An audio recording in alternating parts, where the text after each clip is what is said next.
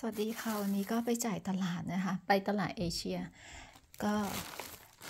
ไปตลาดทีไรมันก็จะซื้อมาแบบประมาณว่า อะไรก็อยากได้เนาะอย่างอันนี้ก็จะเป็นเห็ดหูหนูนะเขาจะ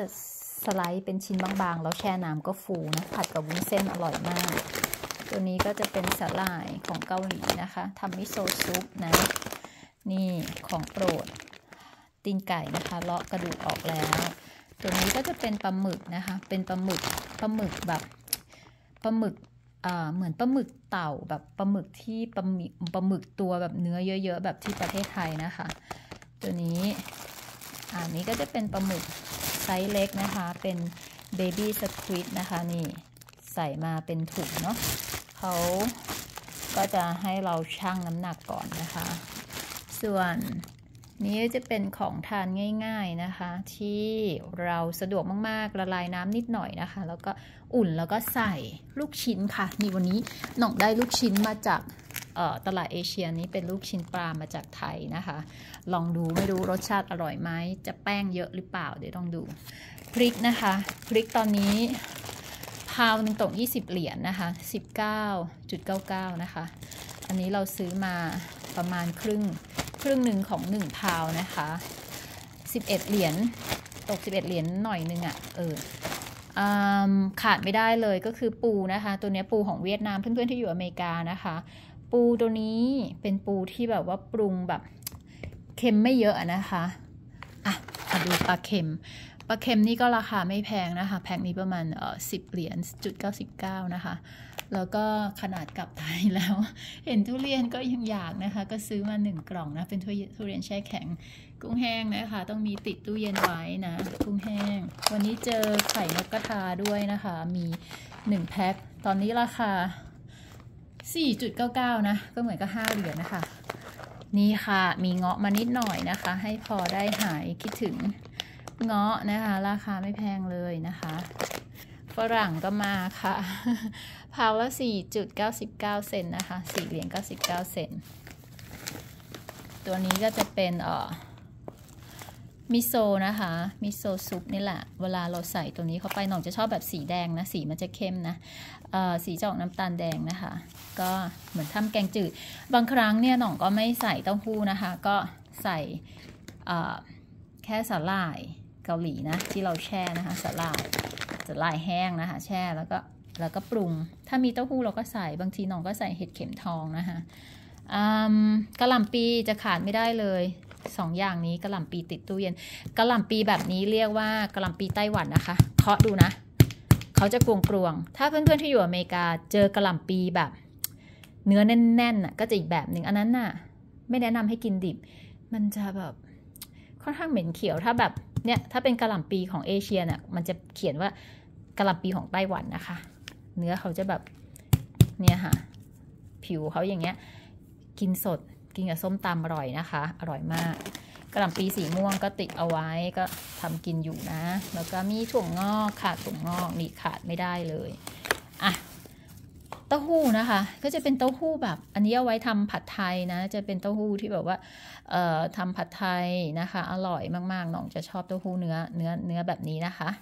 ส่วนเต้าหู้อีกชนิดหนึ่งก็จะเป็นแบบ ถ้าเราจะทำเอ่อเป็นลูกชิ้นแบบ ลูกชิ้นแคะนะคะ ก็ที่เป็นหมูสับปรุงรสแล้วก็แทรกไปในเต้าหู้เนี่ยจะเป็นเต้าหู้เนื้อ firm แบบนี้นะคะ นี่นะก้อนขาวๆแบบนี้นะคะ หรือจะทำเอ่อเอาไว้ทำแกงจืดก็ได้นะ แล้วที่ขาดไม่ได้บ้านหนองจะต้องติดไว้ตลอดเลยนะคะ นี่ค่ะ ต้นหอมค่ะ ต้นหอมอะก็จะต้องมีไว้ติดบ้านนะคะอ่าแล้วก็มีอ่า มะละกอ เนี่ยเพิ่งจะไปซื้อมามะละกอนะคะมะละกอ เอาลูกย่อมๆเวลาเราจะกินเนี่ย เราจะกะเพราะว่าอะไรรู้ไหมคะมะละกอนะเขาจะอยู่ได้ไม่นานเขาจะขึ้นเป็นจุดเชื้อราเชื้อราเชื้อราแม้ก็ไว้ในตู้เย็นนะก็อยู่ได้ไม่นานนะคะอะมะละกอเนี่ยหน่องจะมีติดบ้าง อาทิตย์เว้นอาทิตย์ คือบางทีก็ซื้อเดือนหนึ่งครั้งหนึ่งแล้วก็กินไปยาวเลยก็แล้วแต่ว่าเราจะปรุงส้มตำบ่อยแค่ไหนนะคะ อยู่อเมริกาไม่อดตายนะคะ บอกเลยว่าของกินเทียบ ตัวนี้จะเป็นผักบุ้งจีน ผักบุ้งจีนบางทีก็เอามาใส่ในเย็นตาโฟแหละ เราทำน้ำเย็นตาโฟไว้นะเราก็มีผักบุ้งมีอะไรอย่างเงี้ย เราก็จะกินแก้หายเนาะ แก้หายหิวนะ หายหายแบบหายยากนะคะ อ่า แล้วก็มีได้อันนี้มานิดหน่อยนะคะ กุยช่าย ต้นกุยช่ายนะคะ เดี๋ยวไว้ทำผัดไทยกัน แอปเปิลเขียว ติดไว้บ้าง ส่วนใหญ่หน้องจะกินอาทิตย์ละสองลูกนะคะ อาทิตย์ที่แล้วยังยังเหลืออยู่อีกลูกนึงก็รอบนี้เลยเอามาแค่ลูกเดียว แล้วก็ถั่วฝักยาวนะคะ เวลาตำส้มตำขาดไม่ได้เลยอะอีกอันนึงแตงกวาแตงกวาของเกาหลีก็จะแบบกินได้ทั้งเปลือกแล้วก็เนื้อนิ่มนะคะ แล้วนี่สาหร่ายสาหร่ายแบบว่าเราก็จะหั่นพวกผักกาด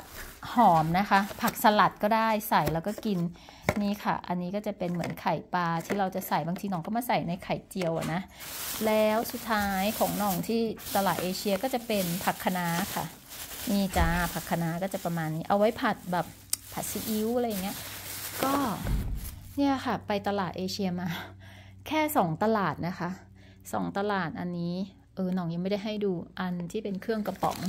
ได้เฮลกระป๋องมานะคะของดากอนไฟนะ อันนี้ยี่ห้อนี้จะดีมากๆ แล้วก็แกงลาวนะคะ เขาปรุงมาแล้วแหละ แต่เราก็เดี๋ยวมาปรุงรสเพิ่มมาเติมน้ำปลาเติมมะนาวเออเติมเออไม่ใช่เติมมะนาวเติมน้ำปลาเติมพริกนะคะแล้วก็เห็ดที่เรามีเราก็ปรุงให้อร่อยไปเลยนะ ก็ประมาณนี้นะคะ สุดท้ายเลยปลากระป๋อง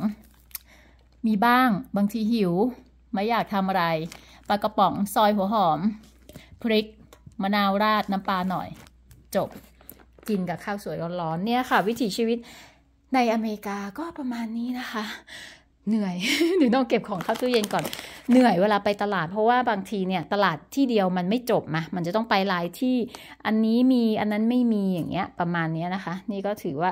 สองตลาดเนี้ยที่น้องไปวันนี้จะเป็นตลาดของเกาหลี นะคะ